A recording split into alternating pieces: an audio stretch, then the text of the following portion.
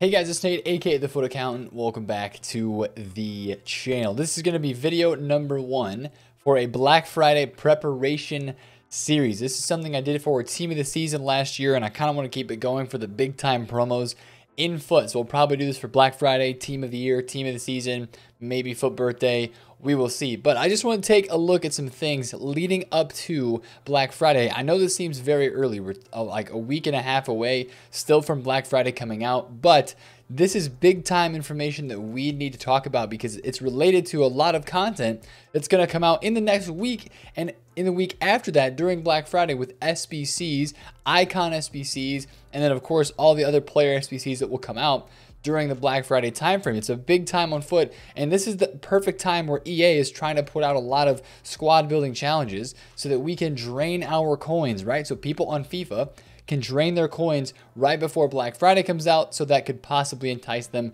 to buy more packs. So today we're going to be talking almost explicitly about SBC fodder prices right now. We've got player of the months that are coming out. We've got that Heung-min Son SBC that is available on the market. That's the first big player of the month that we were expecting this month. It's already come out. We're expecting a Lewandowski and possibly um, Mbappe or Ben Yedder coming out in the next few days or up to the week as well. So that's going to affect the fodder market. People are investing in SBC fodder, by the way, right now, as you guys know, and the prices are rising. So we're going to talk about that as well. But let me actually start off by explaining what exactly is SBC fodder because I do have some people ask me, what is fodder? Well, just to explain it this way, SBC fodder is basically the uh, cheap cards, the cheapest players for that rating that people use for SBCs, right? So David Silva in this game is a 86 rated 86 rated card, David Silva, right? Not many people are using this card in their team in FIFA Ultimate Team. So this guy would be a perfect example of a fodder card because basically he is used for nothing but SBCs. That's what a fodder card is. And this stuff has been rising in the past basically week because people knew that that Son SBC was coming and people know that possibly Icon SBCs are coming later this week as well. But this kind of pertains to Black Friday because we're leading up to Black Friday. There's a lot of SBCs that come out during Black Friday.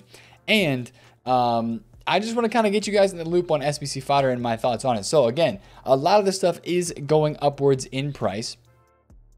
Uh, as you can see, we've got a couple graphs here. Let's take a look at David Silva, for example. Where has this price been in the past two weeks. David Silva was 12,000 coins, rising, of course, from the beginning of the game at 7,000 coins. So obviously, people start to invest in this SBC fodder stuff early on, right? People start investing in SBC cards early on in the game because they know they're just going to rise. Because at the beginning of the game, there's no SBCs coming out that require 84, 85, even all the way up to 89 or 91 rated players just because there's no SBCs that are coming out. If there's any that are coming out, they're 82 or 83 rated squads at the most. So right now what you're seeing is, and this is one graph I'm going to look at a lot today. This is the index 86, right? This is taking all the 86 rated gold cards in the game, adding up their prices and putting together in sort of an index. And you can see here that ever since the first week of the game, this stuff has been trickling upwards in price. And right now we are at our highest point because a lot of these cards continue to rise up because of what we saw last year on the FUT market. And that is what I want to show you right now. So last year, this SBC came out. Basically, what we're coming into is the week before Black Friday. The week before Black Friday last year, we had a base icon upgrade SBC, and this was game changing. This was huge for the game of FIFA because this was the first time in this section, this early part of the game, that we had a base icon upgrade that was repeatable and people went crazy for it. Look at this 500K the first day that it came out. And by the way, this SBC was dropped, I think it was on a Thursday or a Friday it was at 3 p.m. UK, so they dropped the content. Nothing happened for two hours, and then all of a sudden, they dropped this SBC, and the market went wild. The market went crazy. There were icons that were getting panic sold, and we'll talk about that stuff a little bit more later this week as well when we specifically look at the icon SBCs. Today, we're just kind of looking at fodder themselves, uh, but you can tell, right? People were not expecting this. There was not really a lot of investing, and the cards shot up a bunch. So, day one, 500K. Two days later on the weekend, it's 625,000 coins, and it kind of goes down from there. as we actually go into Black Friday on the next weekend. So I just wanted to kind of point this out though. And when you look at all these graphs from last year, right? This is what happened to Piqué. He was 20,000 coins the day before the SBC. He went all the way up to 40,000 coins. He was basically extinct uh, at like 42 to 45K on that Saturday, two days after the SBC had been released uh, because people went crazy for this, right? Now, this year, is the market going to do the same thing? That There's a lot of things that kind of rest on that question. The first thing is we actually have to get an SBC like we got last year that is a base icon. And the key thing about that base icon that made the market rise so much was it was repeatable. Now, I don't know if we're going to get a base icon SBC right away. I don't know if they're going to do the same thing they did last year. But the one thing we do know is EA told us they're going to be dropping icon SBCs, icon player SBCs this year in FUT, and they're going to be dropping in late November. So that would mean possibly with this next season on Friday, I guess you can consider that late November since we're in the second half of the month right now, or they could honestly wait until the actual date of Black Friday. So, and the reason why I'm putting this video out now too is because there's going to be a lot of stuff that's going to be talked about in the next couple of days leading up until this Friday, right? This Friday, which would be the 20th. Uh, there's a lot of people that are talking about SBCs coming this Friday. That's when some people think the first Icon SBC will be. And of course, with all the Player of the Months coming out as well, that is making this SBC fodder get inflated. Now, the big thing is if the SBC that comes out on Friday is not a base icon or any sort of repeatable icon SBC, I do not think you are going to see the fodder market rise. SBC cards are not going to rise up that much because, again, the thing that people are looking at from last year is a repeatable SBC that continually takes coins and cards off the market, an SBC that a lot of people want to do. If the first icon SBC that comes out, whenever it comes out, whether it's this Friday or later, if it's not somebody like a Zidane, an Eto'o, it's going to be a baby or middle version, obviously, because the primes are not out yet. And EA said it's going to be a version of cards that are available in packs at the time of the SBC it's got to be a really really hype SBC for even to even make some of this stuff go up. I really honestly think that it does. It has to be a very hype SBC because um, it, it's got to have some sort of demand for it that is very very very high. And I just don't know this stage of the game if it's an SBC that is over a million coins. If a lot of people are going to go out and do it, if it's even like a, big name card, we'll, I, we'll see, right? It just depends on what card they choose. And I am thinking there's a higher percentage chance that they're going to put out a middle or base icon, actual uh, icon SBC, not the upgrade for an actual player um, that is just not going to be that hyped. Like they could do somebody like middle Michael Owen, right? And that would be an SBC that if they priced it at, he's a 550,000 coin card, they might price the SBC at like 700K. And then you're like, well, that sucks, right? And there's one or two SBCs that come out this Friday. And then you see all this fodder kind of crash down. So that's kind of what I'm thinking could happen if you're seeing this fodder continually rise into this next week. Now, you're not going to see rises like this, right? I'm looking at um, Chiellini and Piqué from last year. Uh, Chiellini going from 25,000 coins all the way up to 50. You're not going to see this sort of rise this year unless we get a repeatable SBC. And since you're already starting to see some rises on a guy like Lewandowski, who's down at 55K just a couple days ago and is now up to 60, if you see your cards going up, um, you know, Lewandowski, he's already up almost 10% almost up 6,000 coins for a 60K card. If this reaches like 63, 62, 63, 64,000 coins by the time we get to Friday, do you take the cash?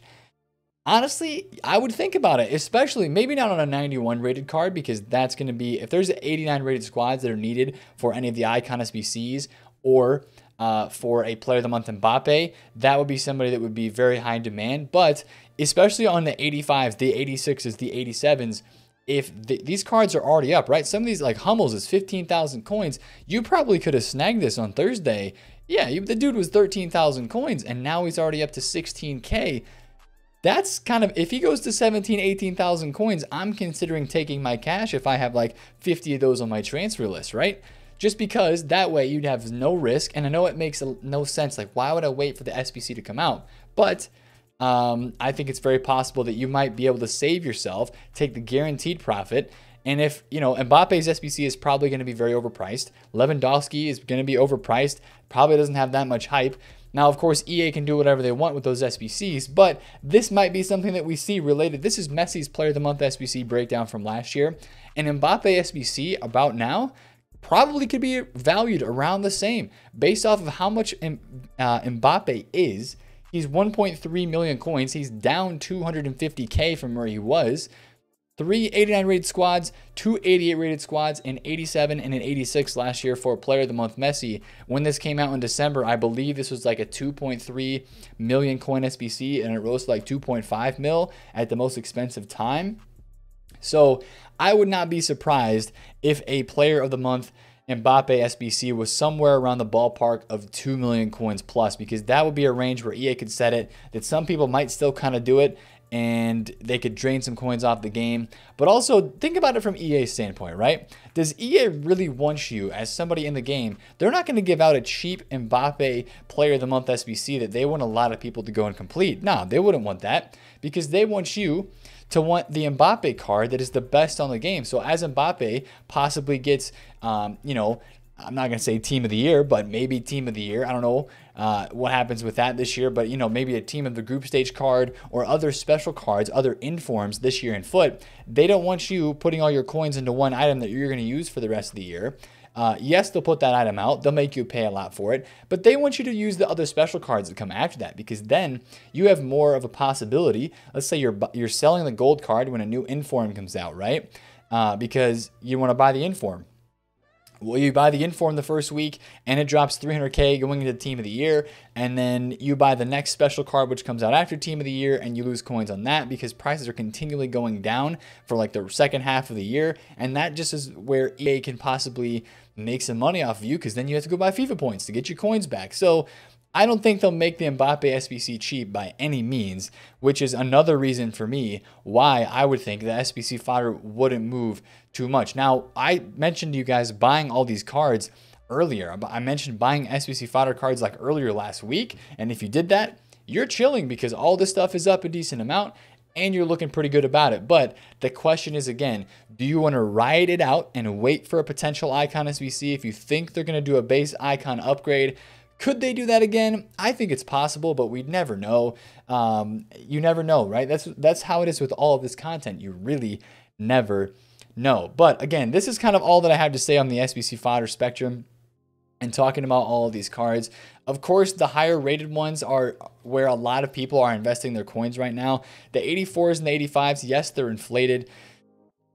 But the 87s to the 89s uh, and to the 90s and 91s, that's where a lot of people are putting their coins right now. And those would be the ones that I would be the most careful with at the moment just because of um, because that's where people's investing. There could be over investing there, and that could cause those cards to drop off when the SBCs actually come out. Because the SBCs come out, everybody has been told to buy up fodder, and instead of stuff going up, stuff gets listed right away because people think it's supposed to go up. They don't have any patience, and then there's undercutting, and the stuff actually goes lower. So that's going to be a situation that we are looking for this week, uh, later on this week in FIFA 21 Ultimate Team related to SBCs, the Player Month Mbappe, Lewandowski, and potential icon SBCs headed into Black Friday. Now, again, we'll make some more videos on this in the future, but usually when Black Friday comes around as well, those first couple days with the pack supply, lightning rounds, a lot of fodder does drop off. So we'll talk about that then. But at least for this week, you might be, you know, better off selling in the hype with some of this stuff. So if you enjoyed this video, smash a thumbs up on it. Comment down below if you have any questions and subscribe to the channel if you're new. It's been Nate the FUT Accountant. Catch you guys later. Peace out.